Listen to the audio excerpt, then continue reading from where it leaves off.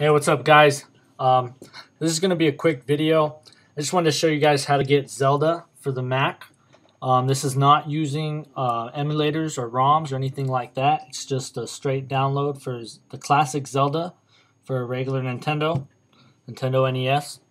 So what you want to do is go to appleaddiction.net and I will put a description, a link in the description box so you can go there, appleaddiction.net and underneath interesting articles, you just want to click on Zelda Classic for OS X.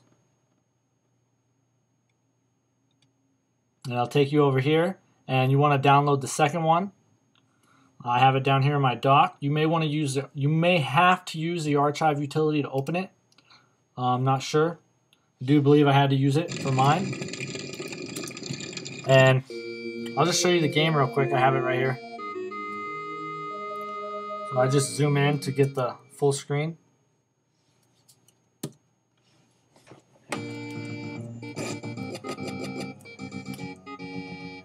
I got the blue shield already, the blue boomerang. I got all this little neat toys and stuff, the whistle, and all these different cool things. So that's pretty cool.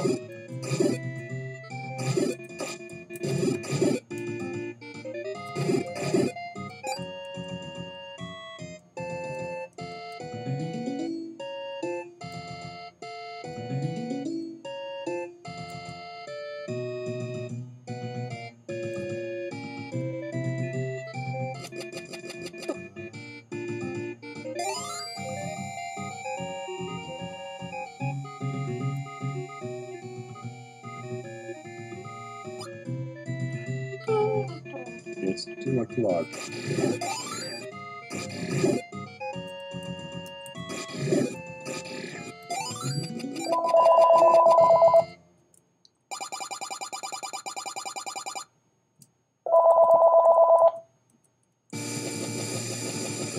So yeah, thanks for watching. Go check it out.